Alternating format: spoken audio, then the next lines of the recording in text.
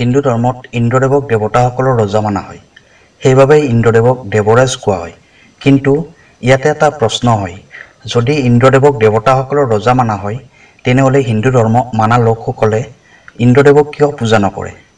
নাইবা সমগ্ৰ ভাৰতবৰ্ষত ইন্দ্ৰদেৱৰ কিয় এটাও মন্দিৰ নাই?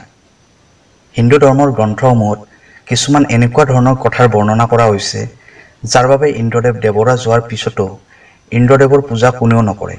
আৰু ইন্দ্ৰদেৱৰ মন্দিৰ ক'তো নাই। তেনেহ'লে জানি লওঁ আহক ইন্দ্ৰদেৱৰ সৈতে জড়িত পৌৰাণিক কথাসমূহৰ বিষয়ে।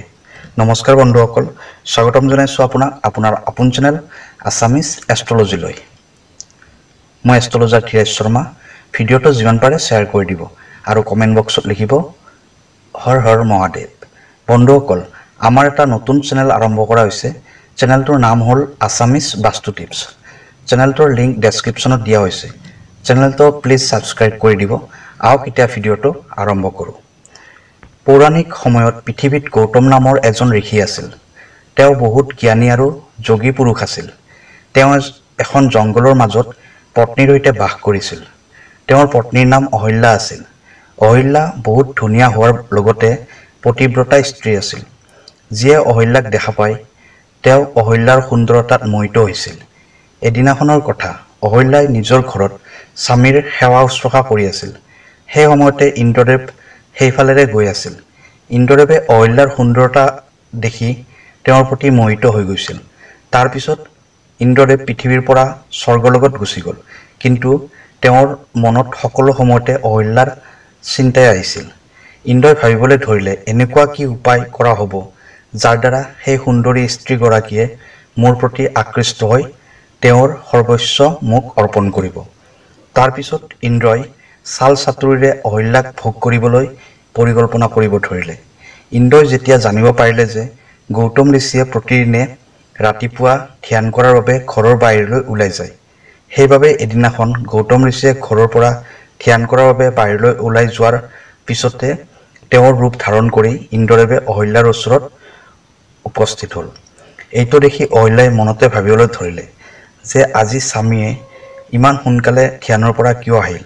কিন্তু তেওঁ গৌতমৰূপী ইন্দ্ৰক একো প্ৰশ্ন নকৰিলে আৰু তেওঁক সেৱা কৰিবলৈ ধৰিলে।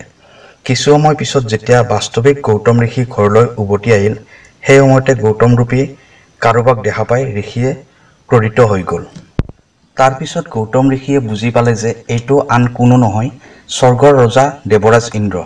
তাৰপিছত তেওঁ অধিক ক্ৰোধিত হৈ দেৱৰাজ ইন্দ্ৰক অভিশাপ দিবলৈ ধৰিলে। গৌতম ঋষিয়ে ক্ৰোধৰ আৱেশত দেৱৰাজ ইন্দ্ৰক ক'বলৈ ধৰিলে যে যি পত্নীৰ জনিৰ বাবে তেওঁ ইমান আসক্ত হৈ থাকে এনেকুৱা ধৰণৰ এক হাজাৰ জনি তোমাৰ শৰীৰত থাকিব। আৰু দেৱতাসকলৰ ৰজা হোৱাৰ পিছতো তোমাৰ পূজা অন্য দেৱতাসকলৰ তুলনাত নোহোৱাৰ দৰে হ'ব অৰ্থাৎ তোমাক কোনেও পূজা নকৰিব। আৰু নিজৰ পত্নী অহল্যাক শিল হৈ যাবলৈ অভিশাপ দিলে। গৌতম ঋষিৰ এই কথাখিনি শুনি ইন্দ্ৰদেৱ নিজৰ বাস্তৱিক ৰূপত আহি গ'ল আৰু গৌতম ঋষিৰ ভৰিত ধৰি কাকতি মিনতি কৰিব ধৰিলে। এনেকুৱা কৰাৰ বাবে গৌতম ঋষিৰ ইন্দ্ৰৰ প্ৰতি দয়া উপজিল আৰু ইন্দ্ৰৰ শৰীৰত ওলাই অহা যৌনিবোৰ চকুলৈ ৰূপান্তৰ কৰি দিলে আৰু পত্নী অহল্যাই বাৰে বাৰে ক্ষমা প্ৰাৰ্থনা ক'ব কৰি ক'বলৈ ধৰিলে যে স্বামী এই ক্ষেত্ৰত মোৰ একো ভুল নাই। তাৰপিছত গৌতম ঋষিয়ে অহল্যাক ক'বলৈ ধৰিলে যে তুমি শিল হৈ ইয়াতে বাস কৰি থাকা।